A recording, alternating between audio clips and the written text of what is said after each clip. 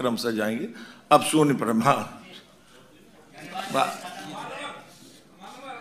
मेरा प्रसाद एक मिनट जाइए आप।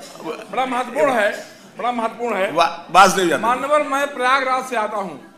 पहले इलाहाबाद नाम था। भारतीय जनता पार्टी की सरकार ने उप मुख्यमंत्री माननीय मौर्य जी ध्यान दीजिएगा आप। मैं इलाहाबाद से आता हूँ अब प्रयागराज हो गया है। भाजपा की सरकार ने उसका नाम रख दिया प्रयागराज। वहाँ पर गंगा जमुना सरस्वती सरस्वती जो है, ज्ञान की और विद्या की द्योतक हैं। मानवर का पर ज्ञान सुनता इस सरकार द्वारा कर दी जा रही है। जितने कार्यालय वहाँ शिक्षा जगत के हैं, कल बेसिक शिक्षा परिषद का कार्यालय लखनऊ ला दिया गया है। और मैं समझता हूँ इतनी बड़ी बिल्डिंग वहाँ पड़ी हुई इलाहाबाद में है। और यहाँ के जो अधिकारी हैं, वो उनका आवास यहाँ पर है, वो यहाँ रहते हैं। अपनी सुविधा के लिए उन्होंने कर दिया है। सरकार को मैं चाहूँगा इस पर ध्यान दे, ऐसा काम न करे। कि हमारा इलाहाबाद का जो मान है सम्मान है दो दूसरे हो जाए। जी।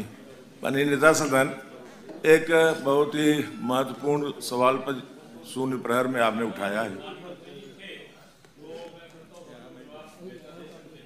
नेता सदन से बेसिक- और हमारे दोनों बेसिक शिक्षा निदेशालय प्रयागराज में स्थापित मैं आप और अंग्रेज़ों के जमाने से स्थापित है। माननीय महोदय उप मुख्यमंत्री केशव प्रसाद मौर्य जी हमारे साथ में हैं इलाहाबाद के हैं प्रयागराज की गर्मा गिर रही है मौर्य जी आप भी वहीं के रहने वाले हैं इस पर ध्यान।